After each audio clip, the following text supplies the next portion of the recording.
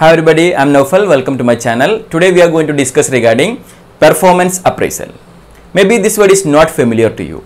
The word appraisal means evaluation. Okay, that is evaluation. So performance appraisal means you are evaluating the performance. You are evaluating the performance of the worker. Okay, so evaluating the performance of the employee is called performance appraisal okay so we can see the simple definition of performance appraisal.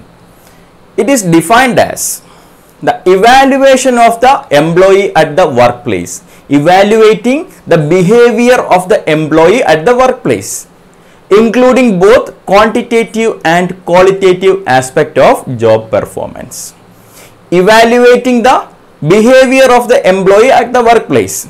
You are evaluating the behavior of the employee at the workplace including both quantity of work as well as the quality of work regarding the performance of the job. Okay? So that is the definition. You are evaluating the behavior of the employee at the workplace including both quantitative and qualitative aspect of job performance. So you are evaluating the employee regarding his quantity and quality of work. Got it that is the definition of performance appraisal. Next we can see the important part of the performance appraisal that is the steps or the process of performance appraisal. The performance appraisal process. It include five steps. Let's see one by one. First one is establishing the performance standards. To evaluate a employee the first step is you have to establish a performance standard. Okay that means regarding the punctuality you are making a standard. You have to prepare a standard. Up to this level the staff should work. According to this level the staff should be there in the institution. And they have to do such and such work. These are the standard of this organization. So first step is you have to set a standard. You have to establish a performance standard. Okay? So uh, i will give the example regarding the punctuality the staff should be there in the institution at morning 9 o'clock. That is one standard. The staff should be well dressed. Okay? The dressing of the staff should be neat and tidy.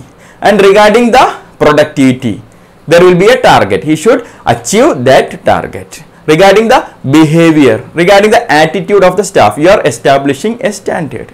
Suppose for a nurse at a particular department he should handle two patients in that department. That is a standard. And he should give such and such care. And he should do the documentation and proper record keeping as well as inventory control.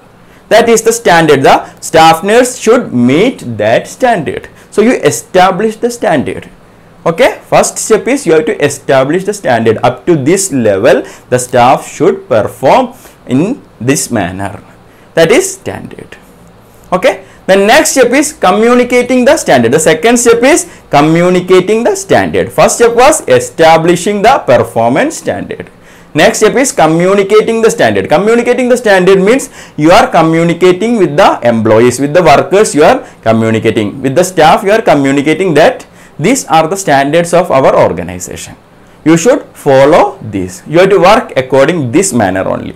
So you are communicating the standards. The timing of the institution or the organization you should be here at 9 o'clock. You should be well dressed regarding the productivity you have to work like this. You are communicating. You are giving that information to the staff.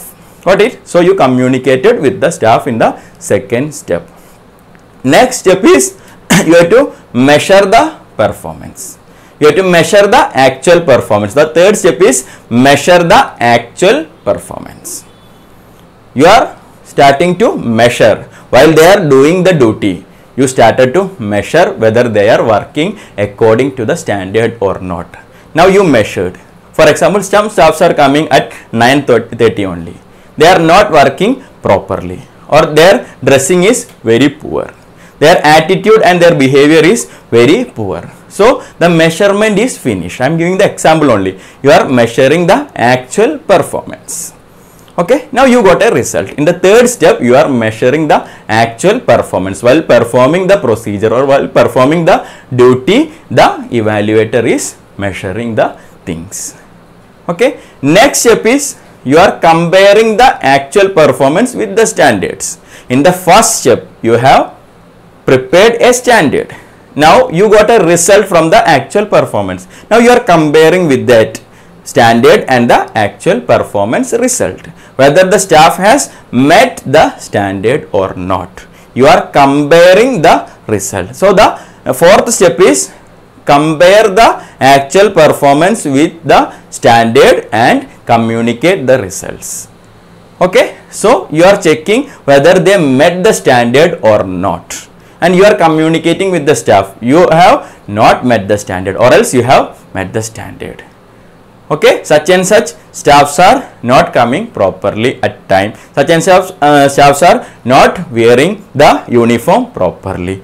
Okay? So their behavior should be changed. You are communicating with the staff.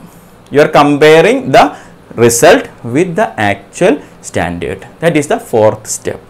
Last step is taking corrective action if required. If at all the standard is not met you are taking the corrective action.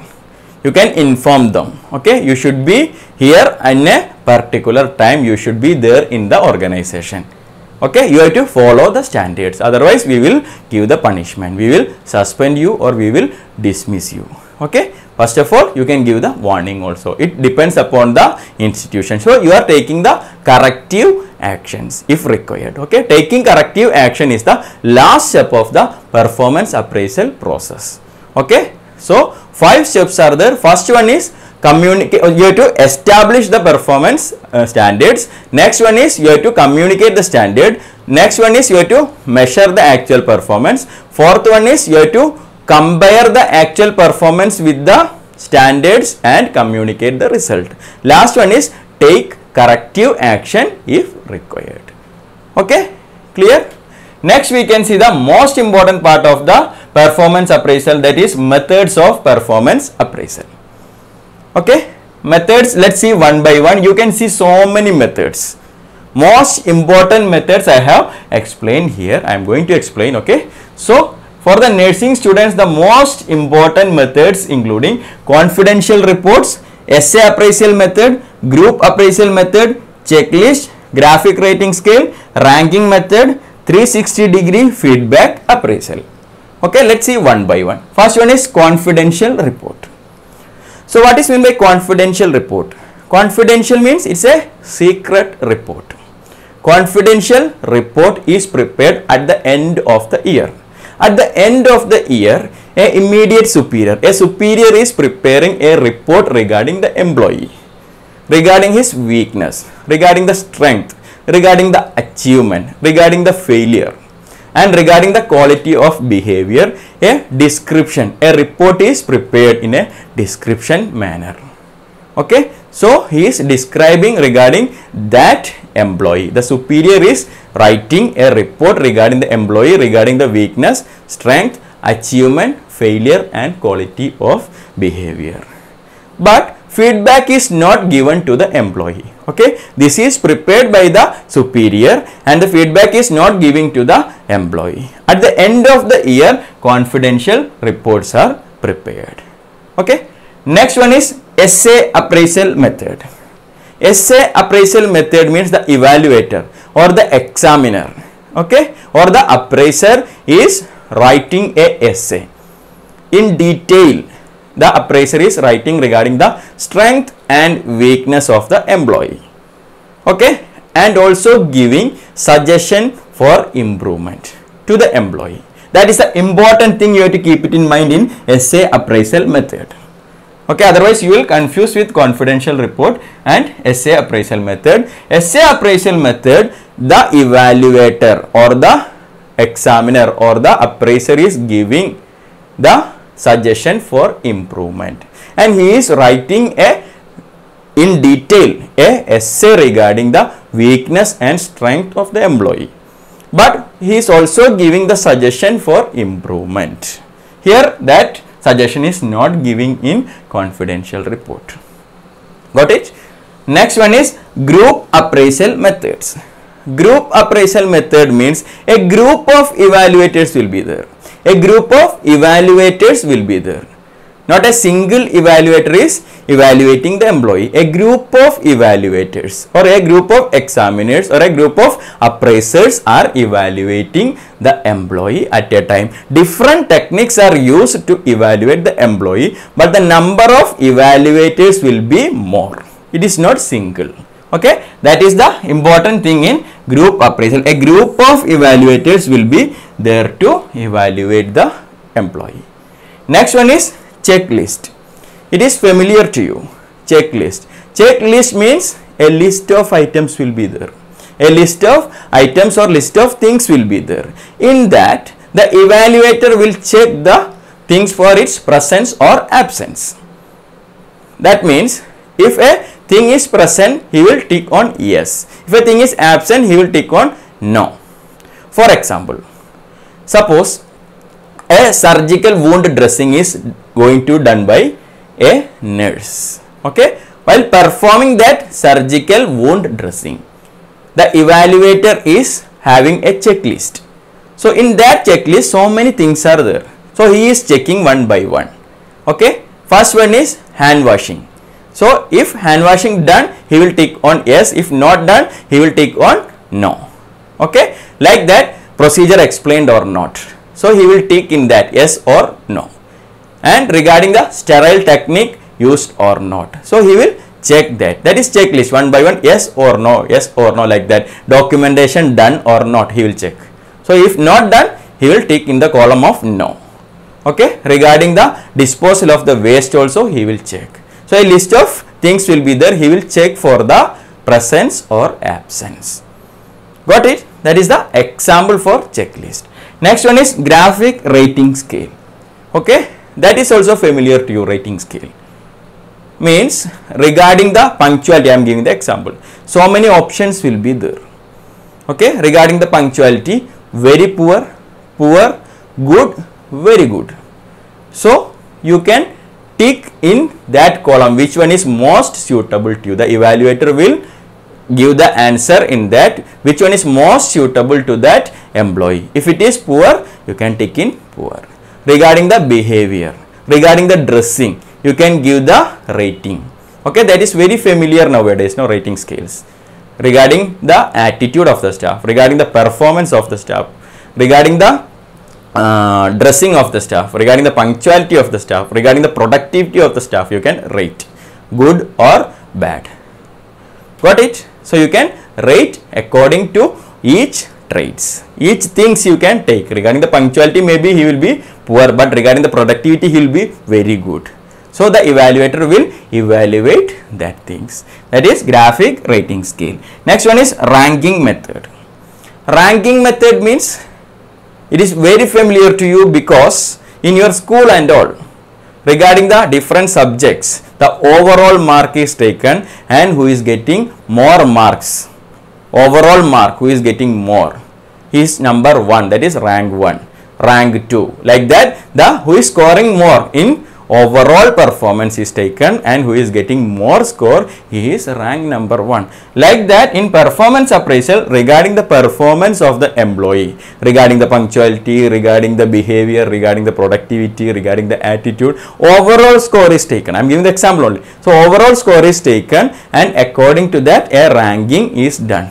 He is rank number 1 he is rank number 2 another one is rank number 3 like that a rank is prepared. So who is scoring more marks? So he is rank number 1 got it? That is ranking method. Last one is 360 degree feedback appraisal. 360 degree feedback appraisal. That means 360 degree. From everywhere the information or the feedback is collected. Regarding a employee the feedback is collected from the superior from the team member from the subordinates okay? From the patient itself from the client itself. Also important thing is self examination from the employee also the feedback is taken regarding the weakness and strength of that person. So from everywhere the feedback is taken. That is called 360 degree feedback appraisal. Okay? From the superior from the subordinate from the team members also from the client or from the patient also from the self examination also done in 360 degree feedback. Got it? That is 360 degree feedback appraisal. Next we can see the advantages of performance appraisal. Okay? The most important advantage is for the promotion purpose.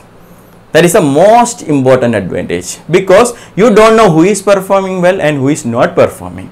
So through performance appraisal you will get an idea okay? The employer will get an idea this person is performing well so we have to give the promotion and we have to increase the salary. So for the performance uh, sorry for the promotion purpose performance appraisal is very important. Okay? For counseling it is very important. Suppose any staff need counseling or any difficulty is there that is very important. Performance appraisal is very important for counseling also. Through performance appraisal you can identify for which staff the counseling is required. Next one is uh, for the uh, promotion as well as for the counseling as well as for the training skill training. Okay? If skill training is required okay? Suppose a new machine is implemented in the organization but a senior staff even don't know how to use that. So for skill training also. You can identify through performance appraisal. He is not know regarding how to use that machine. So to give the skill training also performance appraisal is very important. Also self feedback is given in performance appraisal. That is also an important thing for the self improvement self feedback is getting. So regarding the weakness as well as the strength employee is going to know through appraisal. So he will get a self development or self improvement right? That's all regarding the performance appraisal. We have seen regarding the process or the step regarding the methods as well as regarding the advantages of performance appraisal. We will meet soon with another video. Till that thank you and goodbye